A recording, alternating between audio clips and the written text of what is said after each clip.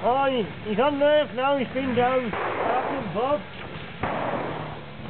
What are we going on do for you?